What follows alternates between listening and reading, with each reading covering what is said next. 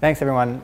Now, I know a lot of you think of NASA. We're most known for putting satellites into space or throwing space shuttles up, or NASA's current uh, mission is putting someone uh, or flying someone to Mars, uh, which they have to do in the next uh, decade or two.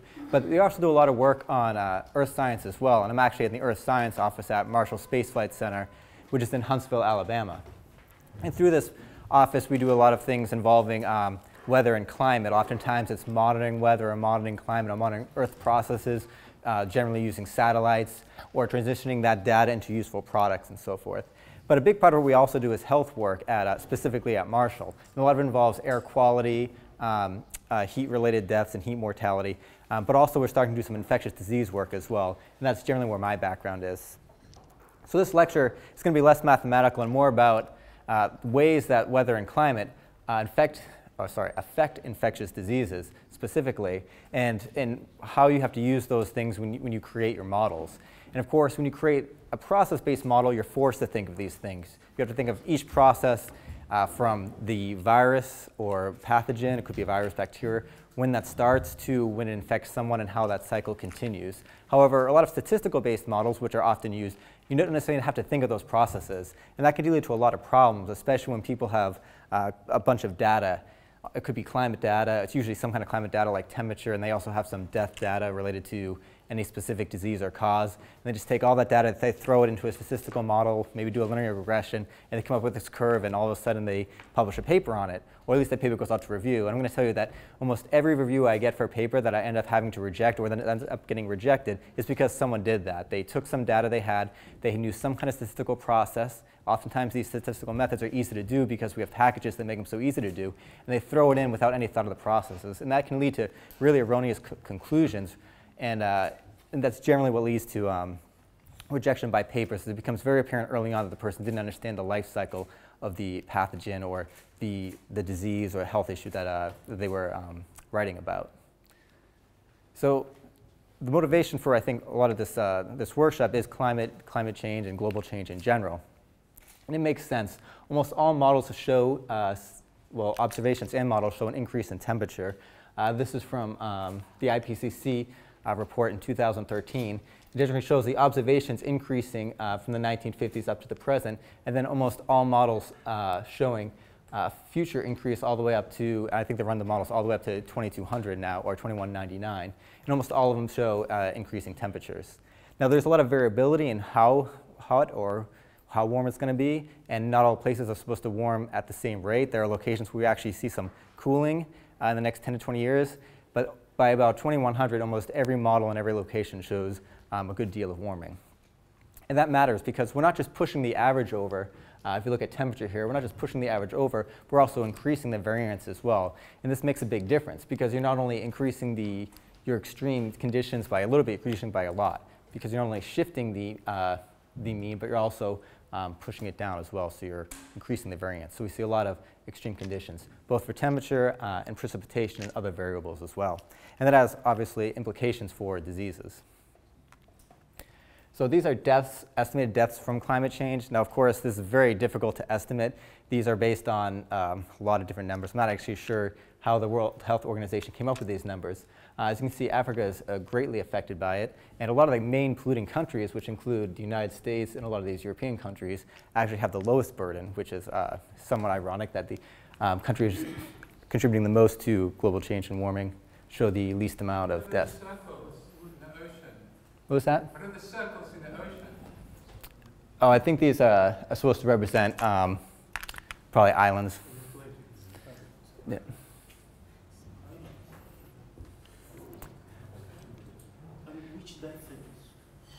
What was that? These are just estimated deaths from climate change, so it's hard to tell. So sometimes they look. What was that? Deaths caused from things they attribute to climate change. It could be heat-related deaths, infectious disease, um, could be even malnutrition. So these are very. That's why these numbers are huge estimates. It's really hard to tell exactly. Uh, you have to kind of choose your parameters and, and so forth. So there are estimates, and I wouldn't. I mean, I wouldn't claim. I mean, you can see these huge 80 to 120 million. That's a a big range in there. Was that? Should they represent yearly deaths or total deaths? Oh no, these are total deaths, I believe. The total, not per year. That would be, yeah, quite a bit. All right, so there's many ways that climate and weather can affect uh, human health. There's some very direct method, uh, sorry, sorry, direct methods, uh, such as temperature extremes. So we know heat waves often attributed with uh, death, especially from cardiovascular and respiratory conditions.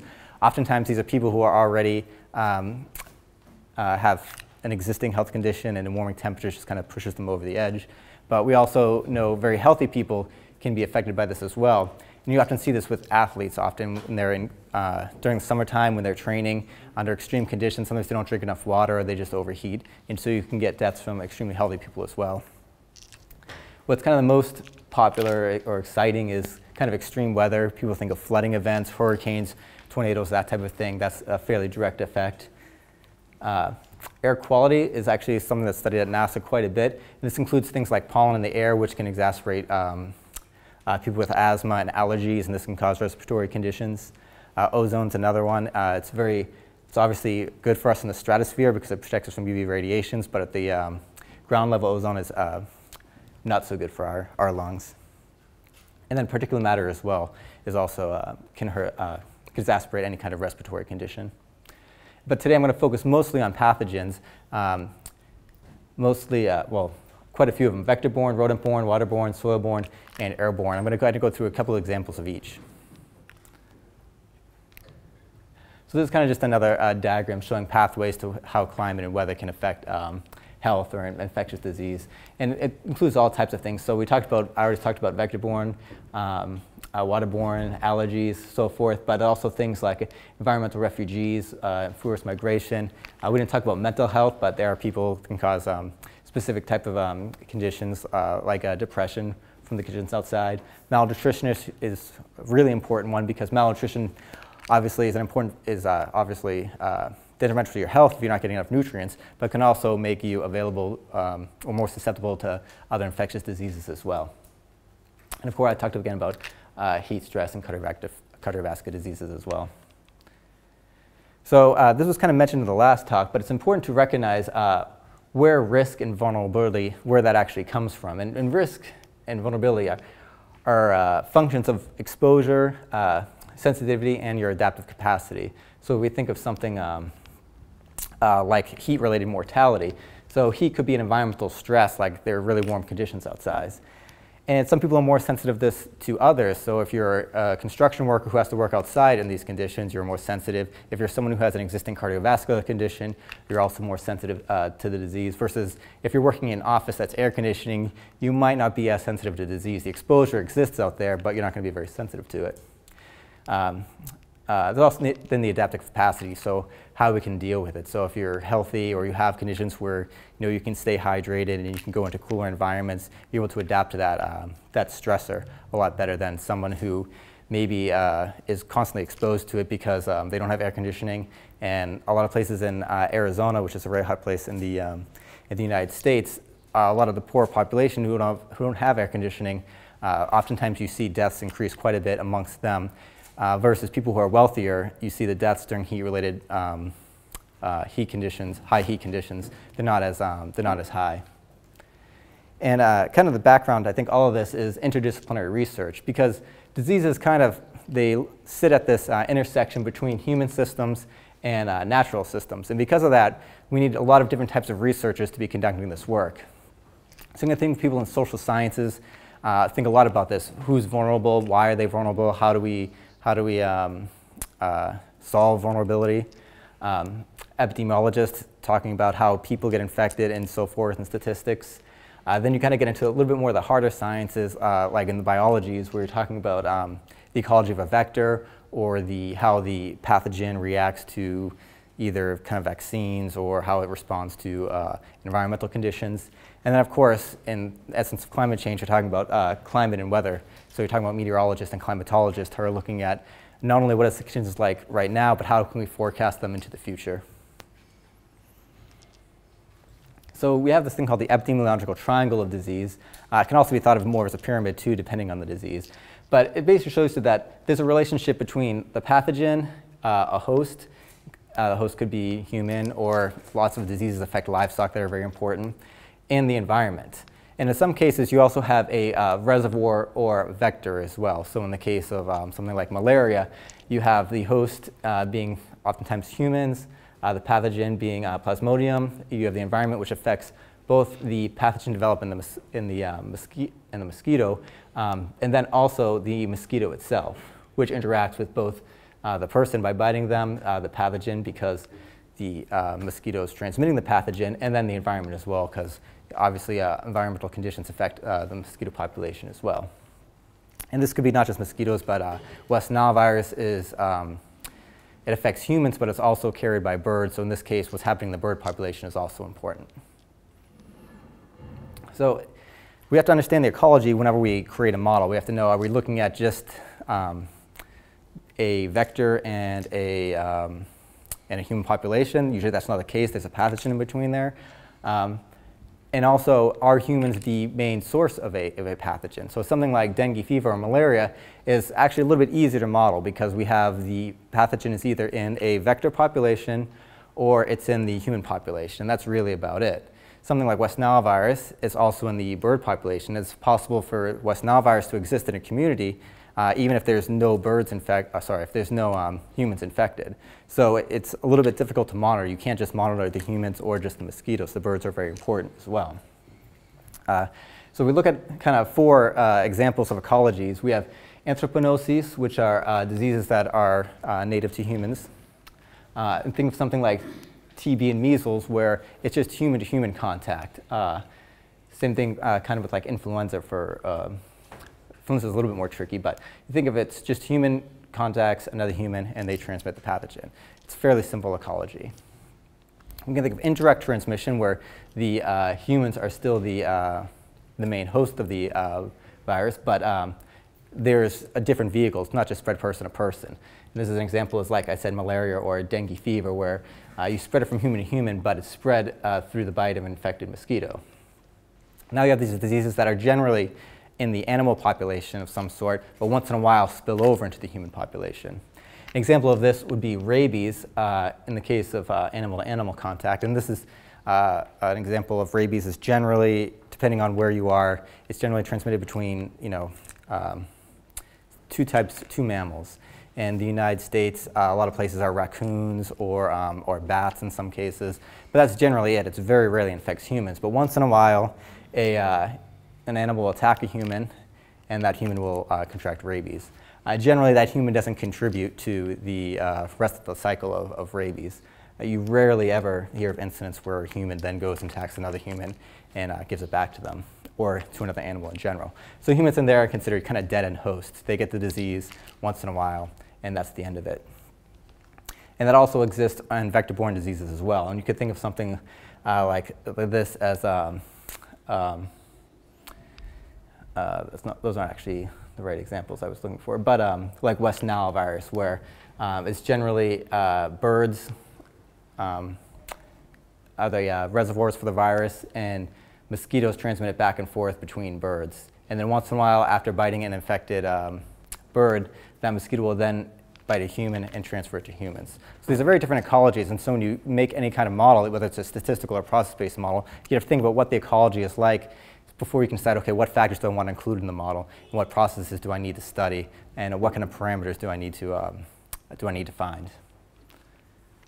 Uh, so I'm going to go a little bit into how climate and weather can affect different parts of um, pathogen ecology, uh, including temperature. Things like the mean temperature makes a difference. You often see people use the minimum maximum temperature, and also sometimes you see a range of temperature. This could be a daily range in temperature, or maybe an annual range in temperature precipitation matters, not just the total precipitation in, let's say, a month, but it could mean in that month how many days have precipitation, and does that precipitation happen and you know one or two, three, four days in a row, or does it happen one day, then you don't have anything for a week, and then it happens another day? So those intervals between precipitation can also be important. Humidity is important. The two biggest measures you see is um, uh, specific and relative humidity. These are different measures. So specific humidity is an absolute measure of humidity, versus relative humidity is uh, it's relative to the amount of um, water, that the water vapor that could exist in the air. So they're two slightly different measures. Wind can matter, both wind speed and uh, variability. Um, things like surface pressure and uh, ENSO, which stands for the El Nino Southern Oscillation. If you've done any kind of climate or um, meteorological work, you've probably uh, heard of El Nino uh, in some way. And then, of course, climate change. And also to talk a little about the scale of how, how scale of responses to these things. So both a temporal scale, what does it mean to have you know, a really high temperature on one day versus high temperatures for a week versus you know, climate change. Those all operate on different scales and they're going to affect uh, pathogens uh, differently because of that. Uh, also, lags are an important thing to consider too. So, you know, if you have a high temperature or you have a bunch of rainfall on one day, it doesn't mean you're going to have mosquitoes the next day. It takes time for the mosquito population to build up and, and, and develop and go through its uh, life cycle. So lags are also important. And then we'll talk about spatial scale a little bit, uh, a little bit too, which is important when you just kind of select what kind of uh, meteorological or climate data you're going to use for your study. So temperature effects on pathogen uh, can do a few things. So um, pathogen uh, can uh, temperature can affect pathogen uh, growth, survival, or incubation periods. And this is just an example of some uh, types of bacteria and their, uh, their growth rates. Now, these aren't in absolute numbers. This is just kind of a, um, to give you an idea. But then you see that most bacteria, uh, their growth rates increase with temperature up to a certain point, and then uh, they kind of usually fall a little bit more quickly, especially at very high temperatures. So that makes a difference. If you know, it's 10 degrees Celsius, uh, and most of the mesophiles, these are usually um, bacteria that cause human disease. 10 degrees Celsius, you're not going to get much growth, and therefore it's very unlikely that you're going to be able to transmit this type of bacteria. Temperature also affects, affects vector dynamics. So if you have a vector-borne disease, uh, like ticks or mosquitoes, their life cycle is often um, uh, affected by temperature or determined by temperatures during the season. So we have this kind of case. Uh, here's kind of just a basic one for ticks. Uh, it's about a two-year life cycle from hatching all the way till when the adults will relay eggs. And during uh, winters that are exceptionally mild in some places, this cycle can continue here instead of going dormant. So you can have um, more cycles in a particular year and everything and more ticks. And generally when you get those high population of ticks, you increase your probability of, um, of disease. Another thing to think about is kind of the human responses to temperature as well. And this occurs in a lot of places in the US uh, that you normally wouldn't think of having vector-borne diseases. So in Connecticut is an area in the US that has uh, very high economic standards and there's kind of this um, uh, thought by a lot of people that, a lot of people in the US especially, that we're a rich country, we, we're not susceptible to vector-borne diseases. That's just the way it is. We spend so much time inside, we have good health, all kinds of stuff. And that's really untrue. And you think of Lyme, Connecticut, which is one of the richest counties in America, is the place where Lyme disease was named because they had so many children getting rheumatoid arthritis, which was one of the symptoms of it. And it's because during nice days, especially in the spring, summer, fall, people like to go out hiking and this is true of people who are in low economic status all the way to very high economic statuses. And when you go out walking in fields uh, and the trees and everything, ticks jump onto you and they transmit the virus. So it's not just how is climate affecting these, uh, the pathogen or the vector, it's also how are we responding to it. And we also respond to, uh, uh to climate. So precipita precipitation is also important. Uh, flooding is one of the main methods through which uh, precipitation affects uh, transmission of pathogens. And this is generally through um, contamination of drinking water. And this is true uh, when you get season, uh, could be seasonal, generally where you have, uh, you know, some places in India we have a monsoon climate and you get lots of rain during particular times of the year. It could also happen in some places where you just get a tremendous storm at one point and it can oftentimes overload the sewage systems and you get a lot of sewage flowing um, uh, into either kind of in the drinking water, uh, especially if you have uh, certain reservoirs that you've reserved for your drinking water. And of course, uh, a lot of uh, vector-borne diseases, they're vectors like mosquitoes, um, breed in uh, standing water. And if you've got lots of buckets lying around or, um, or something unmaintained swimming pools, that precipitation fills up and creates a great habitat for mosquitoes to breed in. And then, so through these events, you can increase the amount of mosquitoes and therefore you increase the number of amount of contact with those mosquitoes, and you increase your ability to transmit uh, the pathogen, whether it's a virus um, like dengue or, um, or a parasite like, um, like Plasmodium. Humidity is one you won't see as much. I think most of your studies you'll see look at temperature and precipitation. Those are the two variables you see most often. But humidity can also be important, especially in relation to, um, to influenza. So these are two graphs.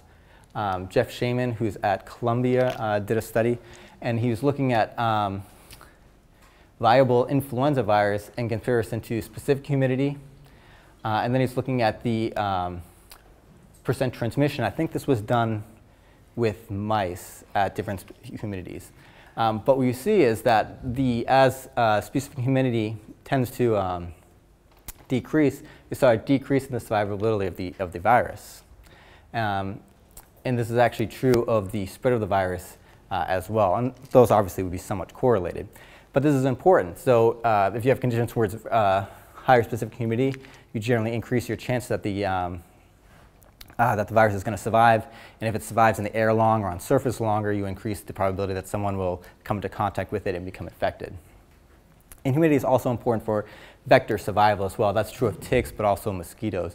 Uh, not only because really dry conditions probably mean you don't have a lot of habitat for them to breed in, but just extremely dry conditions are, are not good for mosquitoes as well. So a mosquito won't uh, live very long in a very air-conditioned environment because it's so dry.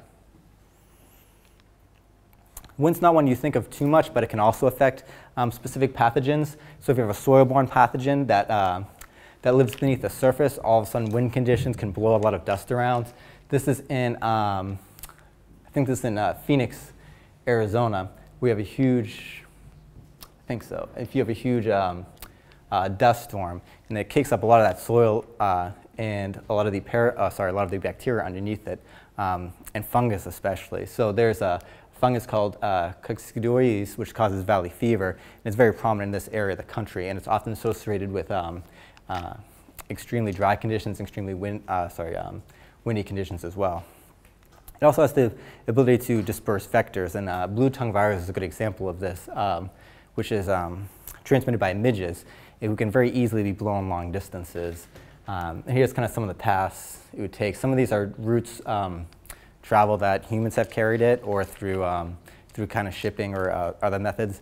But there's also some evidence that a lot of them were pushed, um, made it across the Mediterranean because they get high enough in the atmosphere that the wind can um, push them really long distances. This has also been shown in mosquito, um, mosquitoes as well, as that particular types of mosquitoes have been shown to be in um, very different places just because they were blown there. So a little bit about El Nino Southern Oscillation. Um, this is important because uh, El Nino actually refers to um, water temperature conditions um, in the Pacific. And uh, we generally think of two phases, a warm phase and a cold phase. Uh, and you can think of between them as being a neutral phase. And it's important, you hear so much about El Nino because its effects are, are really worldwide. These maps just show you um, particular things that you tend to see during different phases of El Nino, um, but not only different phases, but also what time of the year they occur.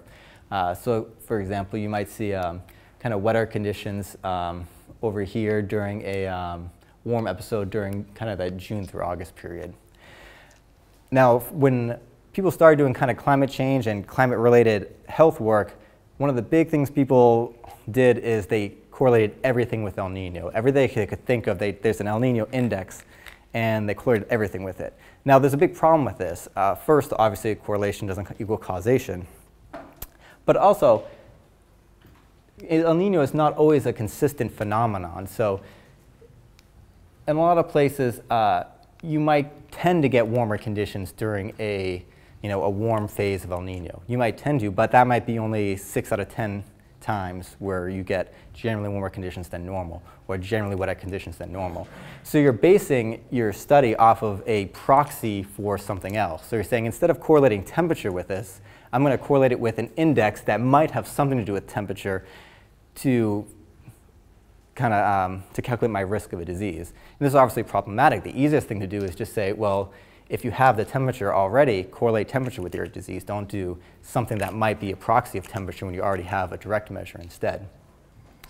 Now, El Nino is still an important thing to look at because we have some predictive power with it, um, which we don't always do. We don't know it's going to be two months into the future, but we might know that there's, you know, um, El Nino conditions that are, are, are predicted to remain for quite a few months in the future, so we can say maybe two months out it's going to be warmer than normal. So it does have some predictive power, but you have to be really careful how you use it. And of course, climate change is another important um, uh, uh, effect that obviously weather and climate can have on, on vector-borne disease, or sorry, not vector-borne, but just infectious diseases in general. Here's an example of um, um, dengue and showing um, projected uh, risk uh, Here's, and I think in 2050, I believe this, yeah, it's 2055. And then you see an increase um, in, I think this is 2085 right. Yeah, 20, 85 over here. And we can see we generally kind of move the borders north in most locations. Um, but some places actually start to decrease. And this is because even, you know, even viruses and mosquitoes have, um, have limits, not only because of temperature, but it might be getting warmer, but you also might be getting drier as well. So oftentimes the ecology is more complicated than simply saying it's going to get warmer, there's going to be more mosquitoes or, or disease, which is generally um, what people commonly think of when they think of, okay, wetter and warmer is always going to equal more of a disease. It's not always true. What is the difference between the two maps? So this is a projection out to 2055, 2055, and this is a projection out to 2085. So they're just using two different um, sets of climate regimes, one from um, uh, a few decades in the future and one into about six or seven. Now, of course, the big problem with going out to 2085 is there's the further you go out into the future, the more uncertainty you have. And so um, I generally don't trust anything more than even 2050, 2060. I think you're really, um, you're kind of really over uh, putting more confidence in those models than you should. So what's the legend for red? Uh, this is the probability, uh, I think it's, yeah, probability of, of dengue occurring in that area.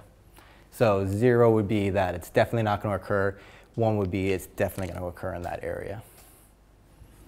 But within this trajectory, how is, what's the level of temperature? Will it be increasing or will it be reducing?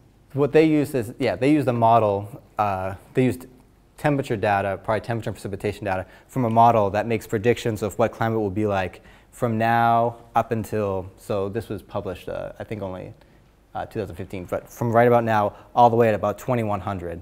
And they looked and they said, okay, this model projects that in you know, 2085, this is what the mean temperatures are going to be. And they put that into their model to predict some kind of probability of it occurring there. Is there a possibility that the mosquito is increasing resistivity within that temperature?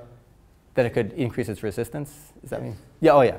That's what I mean. This is, especially going further out into the future, there's a ton of things that could or could not happen. This is almost assuming that everything's the same.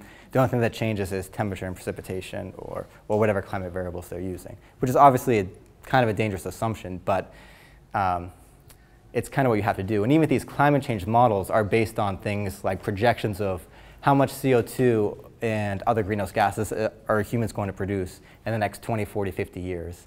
Um, and this is great uncertainty. And usually when they do these studies, and I think they did this, I think there's just kind of one uh, uh, kind of graph that I took off of it, is normally when they run these models out, they'll run for a few different scenarios. So one where maybe warming isn't as big, one where warming is a little bit more and you know a higher scenario. And they, they do it three times and look at the range of what could occur. Uh, is there, again, possibility to predict that, for example, of Zika virus, which is now being had in South America, yet originally it's, it's a Ugandan virus, Mhm. that you can predict that it is going to appear maybe in China?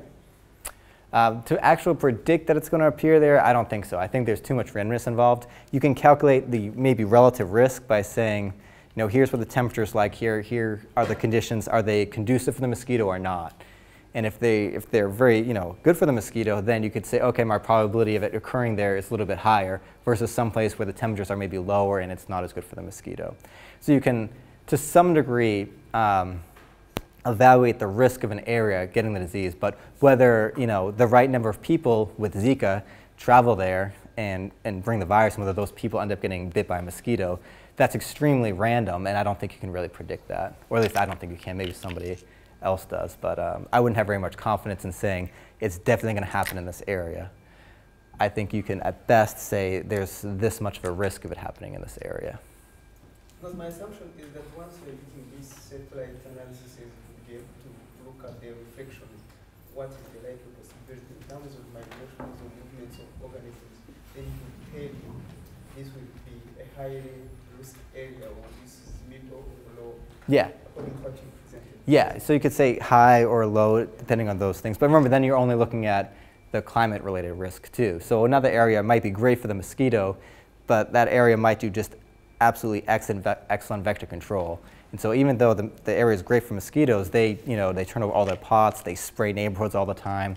And so maybe even if the mosquito, mosquito could live there, it actually can't because the humans are doing things. So those things are hard to predict. And that's why you know, while the environment stuff is still challenging, the socioeconomic stuff is just even harder to predict because it's, you know, you really can't predict it. You know, you really can't, it's really hard to predict human behavior, which is why basically every economic model is wrong almost all the time. Um, so yeah, I think it's good that we can use it for showing risk and where we need to maybe put control efforts, but it's, you know, I don't think you're ever going to be able to really predict where exactly it will occur. Good question though. So, Yeah. the previous graph, the second one, hmm what mosquito species are This is actually Culex quinquefasciatus. This is a West Nile virus vector. Sorry, I didn't go over this one. In? Uh, they generally are they're container breeding mosquitoes, so they breed in and around human environments in like buckets and um, unmaintained swimming pools and things of that nature. Um, so this is showing, yeah, that um, uh, they have two scenarios. This kind of baseline mosquito scenario, this is under baseline climate conditions. The dotted line is under future climate conditions. I think this one was done for 2020 to 2030 in the future, around a couple or a decade or two into the future. It's basically showing you have a slight elongation of the season, so the mosquito season lasts, the population lasts a little bit longer in the fall and starts a little bit earlier in the spring. Um, we do see kind of a dip in the middle. Um, this probably has to do with you actually get decreased precipitation um, in this particular case. And that decrease didn't not affect the population? Yeah, so you see the, um, see the dotted line, you see a decrease compared to the baseline scenario in the population during these summer months. This is probably the result of this kind of decreasing in precipitation. But we see increase in precipitation on both these sides and an increase in temperature, which probably results in kind of this elongation of the season here and here. Does that make sense? No. Okay. so it's just showing it. So this blue lines are the change in precipitation. So this is positive, more precipitation compared to um, the baseline condition, and this is less compared to the baseline conditions. Okay. So the black line is the mosquito population under baseline conditions, this solid black line. And when you compare it to the dotted black line, you see that right here, during this time interval, the dotted black line is higher than the solid black line. So under the future, during, during this time of the year, especially right here, you see more mosquitoes under the future conditions than under baseline conditions. Well, that's what the model's predicting. Now, when you get to here, you actually see less, right? Now you're seeing less mosquitoes in the future compared to these baseline condition. And that's partially because you actually see less precipitation during that time as well. So when you have less precipitation, you have less areas for those mosquitoes to breed in. Is basically what it's showing.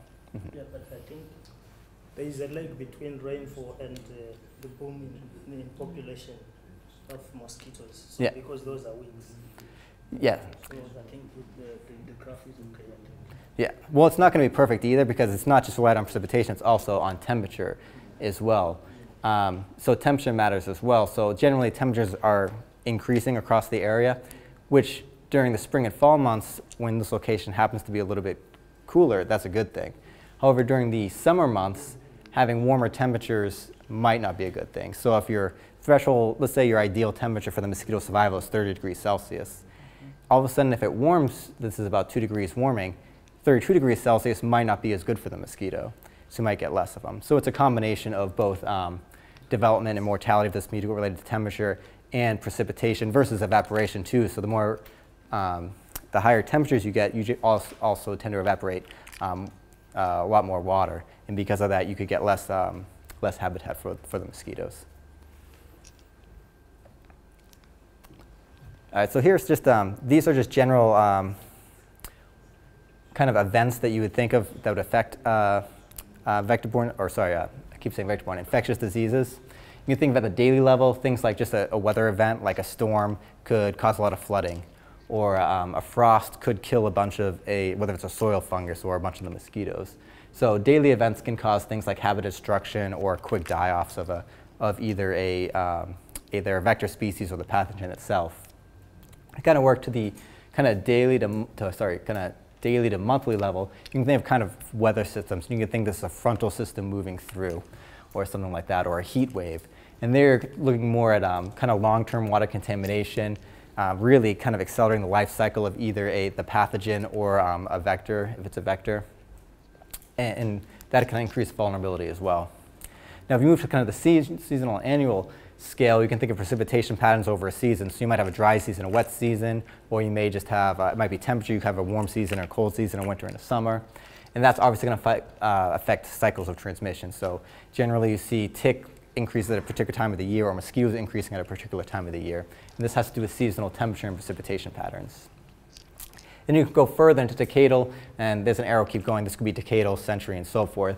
And this has to do with really when you're changing the climate or the ecological limits of, of a particular pathogen um, or disease. And this is kind of what we worry about with um, invasive species and, and, um, and climate change. We can expand the range of a, of a pathogen or, or a vector um, beyond what it normally is. Or you create novel ecologies that we haven't seen yet.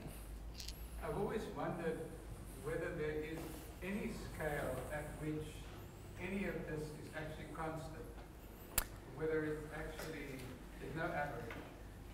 I'm not sure. I mean, because, yeah, you can go here forever. We can also go here forever as well. You could think of it like a very tiny, tiny scale. Um, and that's really hard to say because even a pathogen within, if you just consider the environment, the human body, you know, pathogens kind of vary quite a bit too. So um, we get resistance to it, or the pathogen um, can figure out our immune systems either way. So even at that scale might not be completely consistent. Um, yeah, I'm not sure. And obviously, you know, you can go out millennium into the future, and, and when the further out we go with um, in your temporal scale with climate, the even more um, variability you get. So I'm not sure any of these things are constant. Uh, I think for short periods of time it seems constant to us, but um, if you go one way or the other, it's, it's, it's going to become inconsistent again. Um, so when you kind of think of lags for a lot of these things too, so uh, at the disease scale, we usually think of what happened like a few hours to a daily lag as kind of being just noise in our data. And this is because almost nothing is that certain. If we say the incubation period for a virus is seven days, they're almost never going to say the average. They'll say the average is seven days. They're not going to say it's exactly seven days. So it could be eight or nine days, or it could be only five or six days. Um, so there's always going to be noise in your data, and you just have to always kind of always just accept that. Same thing in your model. At the weekly time scale, though, um, you have to think of some kind of lag. So like I said, if, it's, if it rains today, you can't expect a bunch of mosquitoes tomorrow. You're probably going to have about a week or so lag in there. Um, same thing with incubation periods. If someone, you know, a bunch of people get infected on a specific day because there was a windstorm, so a bunch of people breathed in a particular um, pathogen, um, it's going to take a while for that pathogen to cause disease in those people to become um, um, symptomatic. So uh, you'll see that, that as well. Uh, kind of at the monthly annual level, you could think of like um, seasonally, uh, there would be lags between when you would see, like if it's an early spring, it might still be, that early spring might translate into a few weeks or a month earlier of a particular phenomenon. Um, you can't expect it right at that moment. And when you kind of go decadal to climate change, it's, it's, it's uh, kind of the same thing. So a species may be able to move into a new area one year because that year is particularly warm, but if the next year is cold, it's probably going to lose its range again. It kind of takes time for a species of um, vector or a pathogen to become um, established in an area. That can take um, years, decades, or, e or even longer. So the thing we have to think about quickly is uh, spatial scale. So when you're creating a model, what, uh, what kind of data do you need? And what kind of data you need is going to depend on a lot of things, um, particularly what are you creating that model for? You're trying to model what's happening in a particular spot. So this could be like um, for one particular site. You could be thinking, I want to know how many mosquitoes are going to live in this bucket. Well, you have to know kind of the microclimate of that, of that thing. And so at that, that scale, you're talking about vector or pathogen growth or where transmission is going to directly occur. We start going to kind of like the local regional level, uh, like an ecosystem, whether it be like kind of a big wetlands or a forest, you're actually thinking of, okay, not just what's happening with the mosquito population right here, but how's the species doing over a wider area. And this is kind of what you need to, to uh, facilitate a full transmission cycle. You can't just have a bucket of mosquitoes and say, oh, now there's going to be malaria. You need people around there for the mosquitoes to transmit it back and forth between. And then, of course, at the very, uh, at a bigger level, when you're kind of thinking about um, kind of climate zones at a more kind of continental type scale, you got to think about, you can start thinking about metapopulation. So it's possible for malaria to not be occur in one area, it can be completely gone. but that doesn't mean it's always going to stay extinct. It will be, be occurring in the area nearby, and then when conditions become right in that uh, former area again, it can come back there. So metapopulations are important to keep either vector species or pathogens alive in an area when they can't survive year-round. And this is true of something like dengue in South Florida. In South Florida, most of the year there's no dengue transmission. However, during the summer months, they almost always get a few cases that occur there because people come from other areas um, in the world where dengue um, exists, and when they come there and the mosquito populations are high enough levels, once in a while you get some kind of random local transmission. But you need some kind of metapopulation for that to, uh, to occur.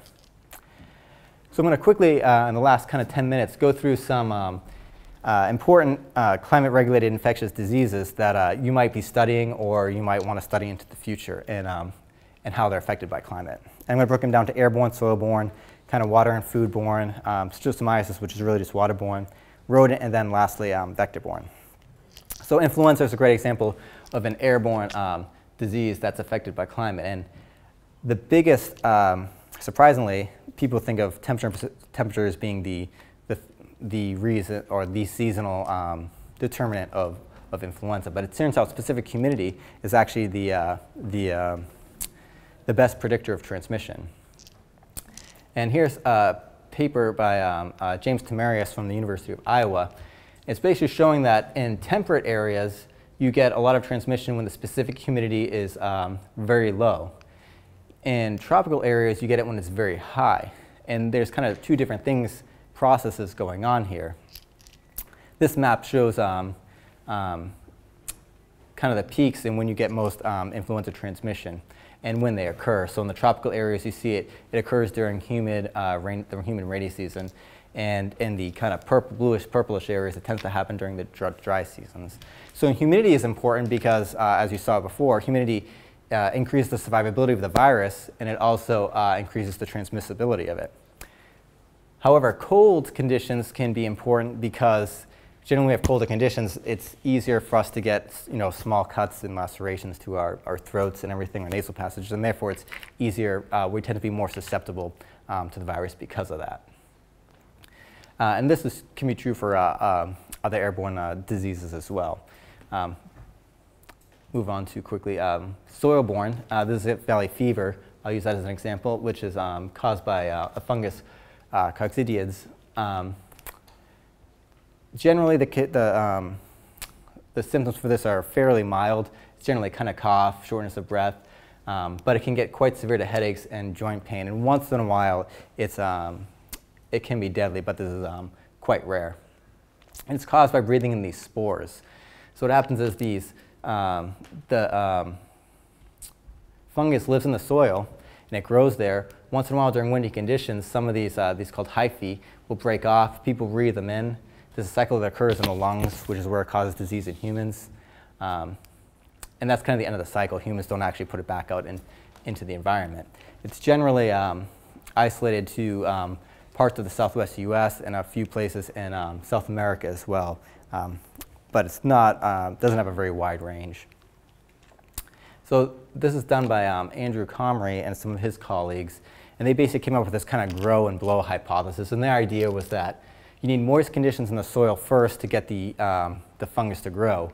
Then you need it to dry out and you need strong winds to get that, um, uh, to get the fungus into the air so people can breathe it in and uh, cause disease. Uh, so uh, foodborne, uh, two very popular, um, I wouldn't say popular, but uh, notorious uh, diseases uh, or pathogens include E. coli and Salmonella. Um, a lot of people may have had um, experiences with this, but it's intestinal bacteria causing uh, diarrhea, cramps, and fever. And they're also related to both temperature and precipitation. Here's a graph showing salmonella in, I think this is New Zealand, yeah, cases. And um, generally you can see this is the um, average monthly temperature.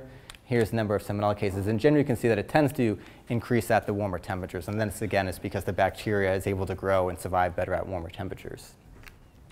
Here we look at E. coli, and this is actually E. coli levels in the water. And you can see the bottom is the actual uh, number of E. coli uh, uh, spores per milliliter in the water. And it's really very well correlated with the amount of, um, this is flow, so this is flow of um, water. You see that um, increases a lot as well. So you see what's probably happening is a lot of precipitation coming down, creating a lot of surface flow, washing a lot of, um, um, it could be just um, um, any kind of pathogen or um, bacteria on the surface into the water. And uh, so it increases the chances, chances of someone drinking that water and causing disease. This is similar to also for cholera. Cholera is a little different. It's still caused by contamination of food or food or water, but there's actually a very um, good relationship between um, climate conditions or actually sea surface temperatures and, um, and cholera. As you can see right here, um, this is present cholera in the water and then um, temperature. And it's also affected not just by ocean temperatures, but things like um, the pH of the water uh, and the salinity, because it affects zooplankton, which are important for um, um, uh, keeping or for harboring the pathogen. What happened on the right-hand edge there? I'm not sure. it's not a direct. Well, this is just temperature too. So, like I said, there's other things uh, affecting it too, like um, pH, salinity, other things that may that may have affected over here. It could also be um, at some point. Let's, let's see. The sea surface temperatures are going down, but yeah, um, it's lasting a few more weeks. So it's also possible that people got it and didn't show symptoms for a week or so, or didn't get reported at the at the right time. So um, I don't know exactly. Um, this is, was done at the University, I think, of Wisconsin. Um, but yeah, that's kind of trails at the end, which is important for most diseases. You're almost never going to get an exact um, uh, uh, correlation. So another waterborne, now this is tricky. Some people consider schistosomiasis a vector-borne disease, um, but you could also consider waterborne as well. Um, is because the, it's a worm, uh, a nematode. Uh, it begins its life cycle as eggs in, in the water, usually from human feces or urine. Um, they hatch uh, the um, small worms. They uh, infect snails when they're immature in their immature stages. They do a life cycle in the snail, then leave the snail, and then they then penetrate through human skin or lacerations in the skin uh, when people are in water and cause disease there. So it's considered vector-borne because the snail is kind of the intermediate host. But you could also think of it as being waterborne because you just have to be in the water for, um, um, to get the pathogen. And so in this case, the snail species is very, um, which is important for the life cycle. If you don't have the snail, it can't complete its life cycle, and therefore the transmission process will be broken. Um, but it's very sensitive to water temperature. And so in this case, warm waters tend to increase the, uh, the probability that you can, um, you'll sustain this infection. So again, um, hantavirus and um, plague. So hantavirus is definitely a rodent-borne disease, but plague you can actually consider as a vector-borne disease because the bacteria that causes it isn't vectored by the necessarily the um, um, the uh, rodent, but actually the uh, fleas on the rodents which uh, carry the bacteria. So hantavirus pulmonary syndrome is a virus that's transmitted through it can be mouse urine, feces, or um, or saliva. It can be uh, you have very mild conditions, but they can also become uh, very severe uh, as well. And, and, this did actually cause uh, quite a few deaths in, um, in the southwest portion of the United States in the, I think it was in the 90s or early 2000s.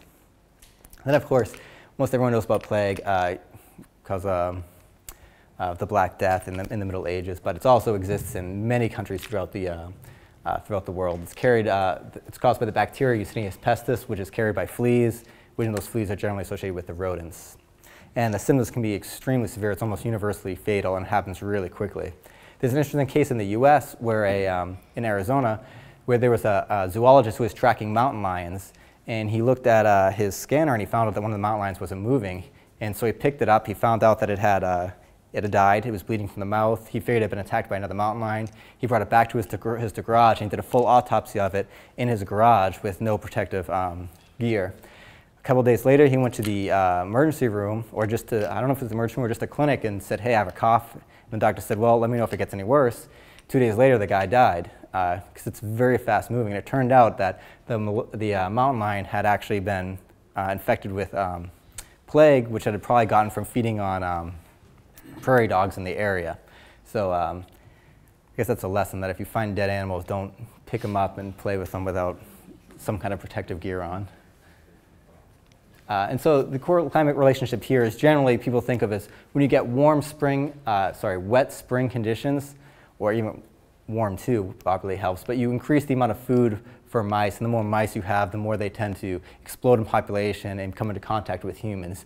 Uh, this could be, you know, just from, you know, living in the walls or, or around your house, and you're cleaning up, and you get exposed to their urine, or um, or maybe um, from lice that have jumped off of them. Um, but also from being bit by them too. So uh, hantavirus can also be um, transmitted, like I said, by the um, um, saliva. So if you ever get bit by a mouse, um, it could also transmit it as well. And generally, for hantavirus, it also might be important to have a dry summer too. So it might not be just about having lots of mice, but when you have a drier summer, it's easy to aerosolize a lot of the um, uh, feces and urine that the, um, that the mouse produces. Last thing I'll talk about quickly is vector-borne diseases. So we have um, a lot of diseases that are vectored by, um, um, by either ticks or insects. Um, some examples for ticks include Lyme disease, Rocky Mountain spotted fever, babesiosis, uh, Powassan's disease. Ticks have a very, uh, as I showed you before, they have kind of a two-year um, uh, life cycle that they go through, and that can easily be interrupted by um, either an early winter or a more mild winter, which may kind of um, uh, prolong the season or decrease it. Here's kind of a quick map. This is showing um, a model uh, for Lyme disease. Uh, here's kind of your R naught. Uh, if remember, we, quite a few people talked about that today. Uh, and it's just showing kind of the increase as temperatures warm. This is kind of baseline conditions, which means 1971 to 2000. For a lot of climate models, that's kind of the baseline condition.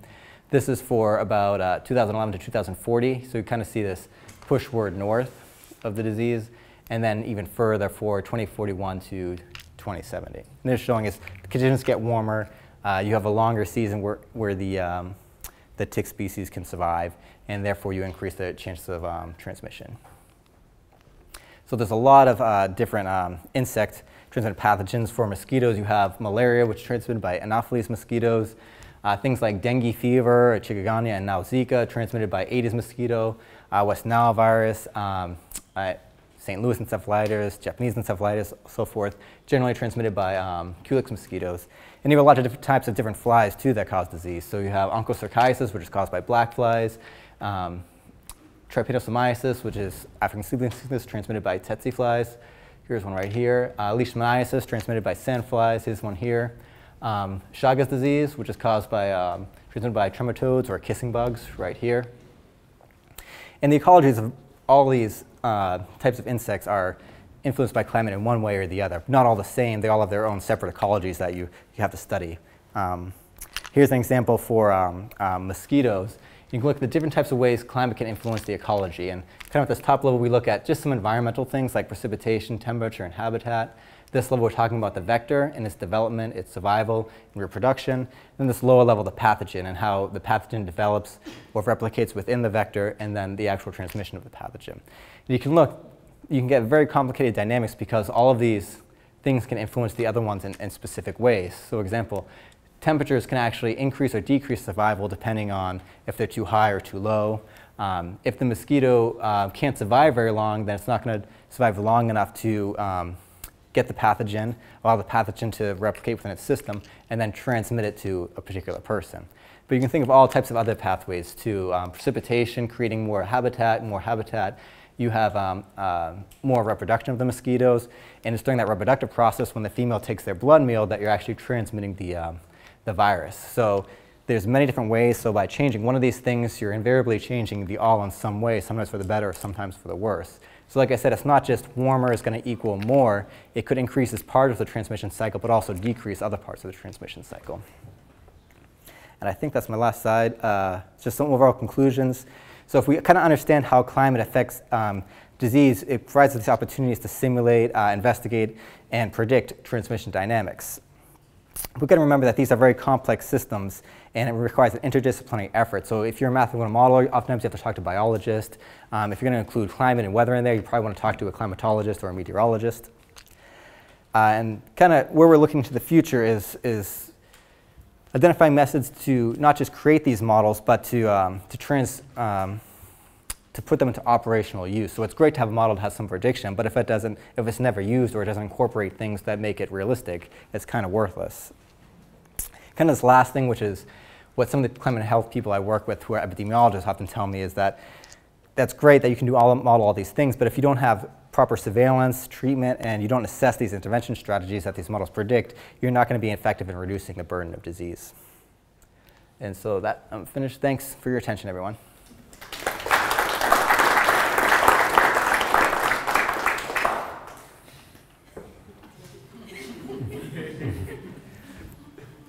Delayed lab. Yes.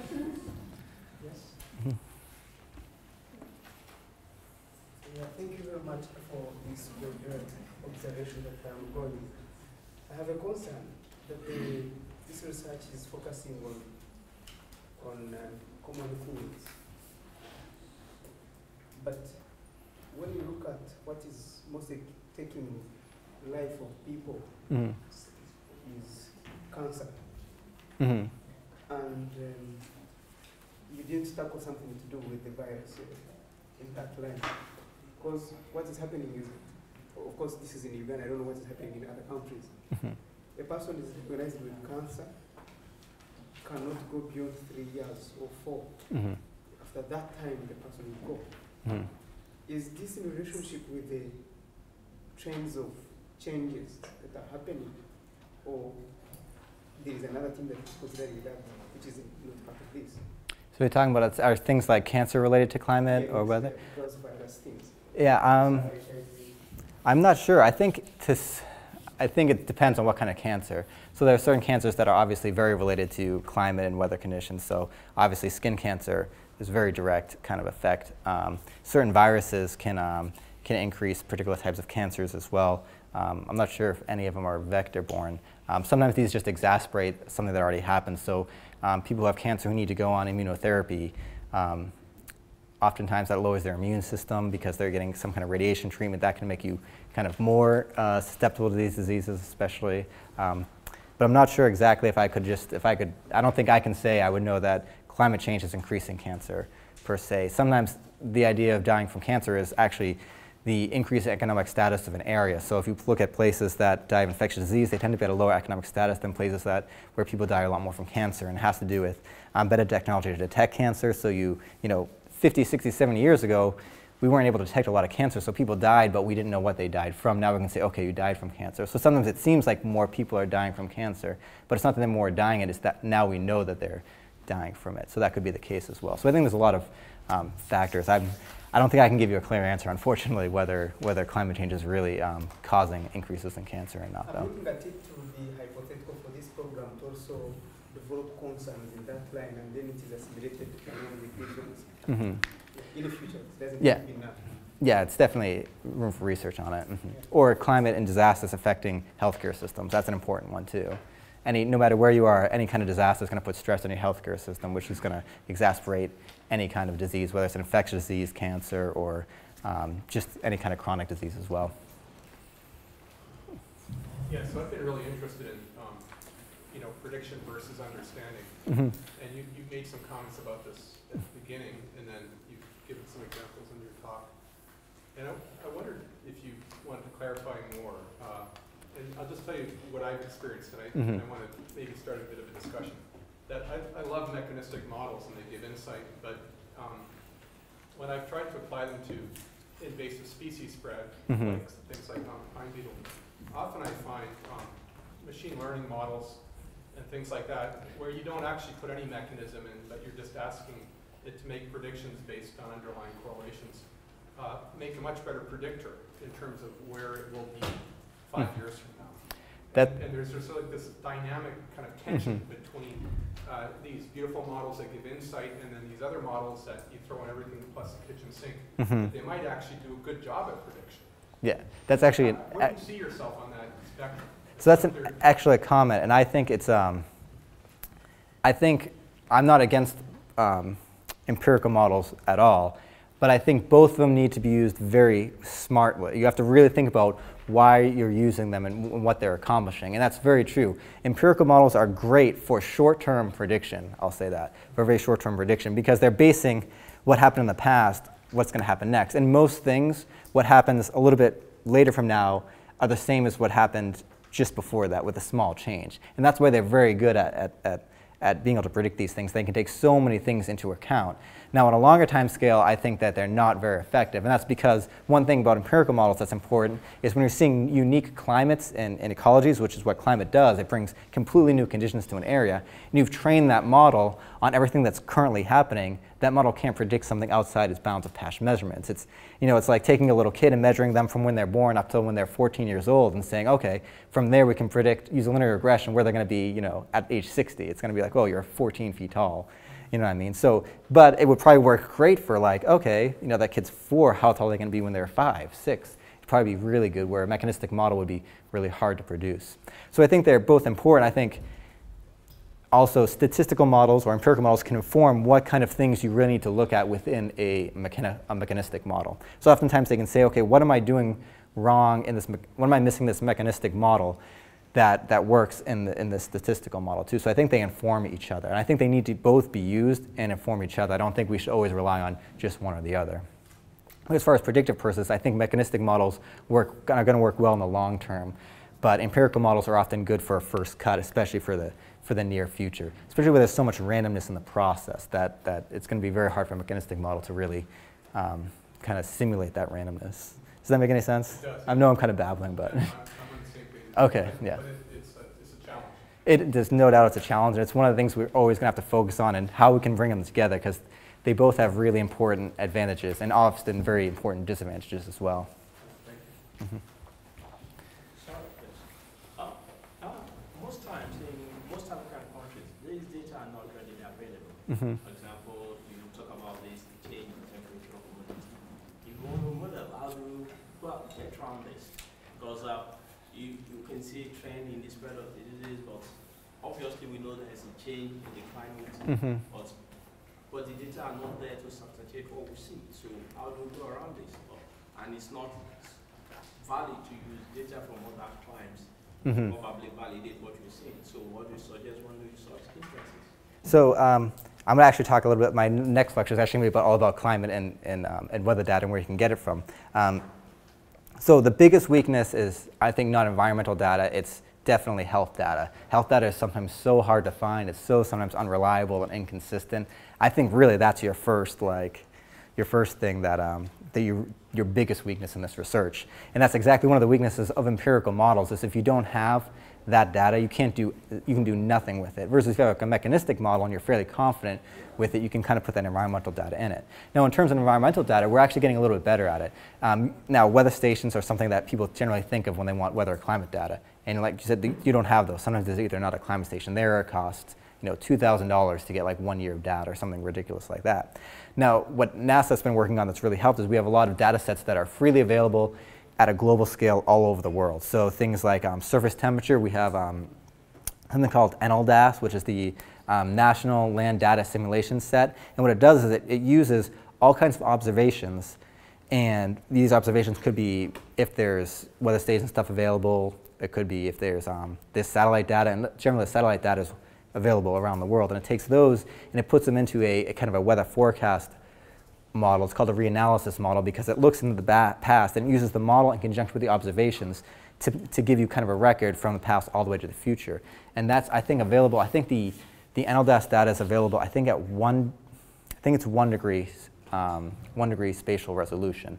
And that's available, I think, from the 70s all the way up until I think the present time, or at least maybe there might be like a one month backlog. So those are kind of the, the best things you can do. Sometimes you need to, um, um, now the model data obviously is important, is going to have some problems because it's modeled, but at least it's available everywhere uniformly all the time. And I think that can kind of help us kind of solve some of that, in, um, some of that trouble getting the environmental data. Because I, I know what you're talking about. Sometimes you have great health data, but you have nothing to kind of compare it to. So I think that's going to kind of help us into the future. Sorry, do you have a comment on? Can I continue on that? Because uh, my experience is that about environmental data, the temperature is easy to get. Yes. But people I work with tell me that it's impossible to get humidity from satellite data or anything like that. Yeah. And that's why we don't use that in the model, although we Mhm. know that it's important. Yes, so we, we built the mosquito model and we purposely didn't include humidity in it because we knew that most people weren't going to have that data. But humidity is something this reanalysis data will have. It'll have, t- it'll have surface pressure, um, wind speed, wind, things, you know, almost everything they'll have things you haven't heard of, like you know 500 millibar pressures, but you know I mean things you, if unless you're a meteorologist or a climatologist, you don't care about. But it includes all these things because the the model uh, simulates all these things as well. So that's that's one thing you can start to use those variables that you normally wouldn't be able to use, like humidity, because again it has humidity. It'll have it. I think might even have it down to the hourly level, but it has that every single day of the year over the entire surface of the Earth for the last. I think it's I think it's in the 70s. So for like you know three or four decades. So I think that will kind of help. Obviously, you need to know, and, and NASA provides all of this free. All NASA data is completely free for anybody, which is which is actually advantageous over a lot of the space agencies in like Europe where that where that data costs money.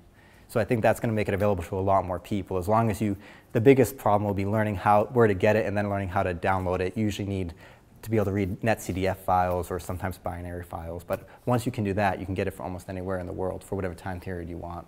It's not going to be ideal for every situation, but it'll give you at least a realistic picture of the environment in that area. We usually use uh, uh, IRI data library. What's that? IRI uh, data library, data library Mhm. from uh, International Research Institute of Columbia University. Mhm. So I want to know what is more, the more interesting, uh, using anomaly data or directly using temperature data. Um, so what's kind of, what's the other data you said that they're using? IRI, IRI airline Oh, okay. Oh, okay, yeah. from Columbia. I mean, it. I think it depends on what, which one's better to use. Depends on kind of your your your application. I think the IRI data library just connects to different providers. So it's Mhm. more like a hub, it's a portal. Oh, so to get once you get in there, you can connect to University of Anglia, you can connect to Mm. UCB, Mhm. different data sources. Yeah, and so the advantage of those those uh, data sources, they probably oftentimes have cleaned things up for you and make it easier to kind of Yeah. to get them. So um, sometimes it might not be better or worse. Sometimes you might be getting almost the same Yeah, yeah. it's the same thing. So um, I mean, obviously, if you can get it the most direct route possible, you have the most control over what you do to it. So that might be slightly better, but I wouldn't discount the other source if you, you know, I mean, if you're fairly confident in the in the place that that conducted it, that they did the right things with it, and they're providing it in the right format and so forth. Yeah, and sometimes it's just good to get meteorological data or Yeah. station data, then you validate maybe Mhm. one data set. Then from there, you are confident enough. Yeah. you can get from there. And that's true. When you use these model data sets, it's usually best to, if you have a station that you can validate against, do that. Um, sometimes you don't, but um, Yes. if you can, it's better to do it. Mhm. Maybe I will invite you to continue the discussion at the reception. I think it's in the, we have to cross the street, it's in the building on the other side. So we thank the speaker again. Oh, thank you. Yeah.